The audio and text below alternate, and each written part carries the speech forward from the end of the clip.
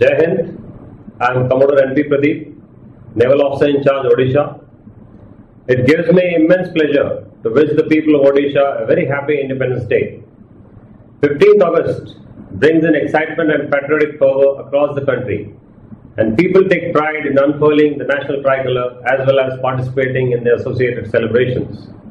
On this day, let us remember the visionaries and leaders who showed the way and martyrs who gave the supreme sacrifice to make our country free from the British colonial rule.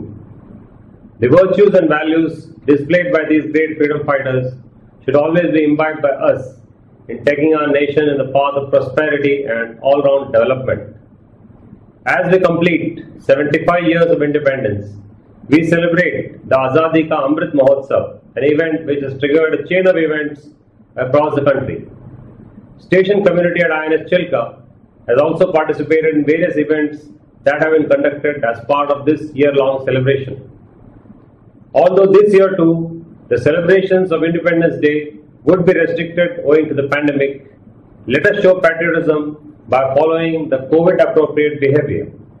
I wish each and everyone at Odisha a happy and healthy life. At the end, I would like to reiterate that Indian Navy stands committed to protect the sovereignty and freedom of our nation from inimical elements. Sham No Varunah, Jai Hind.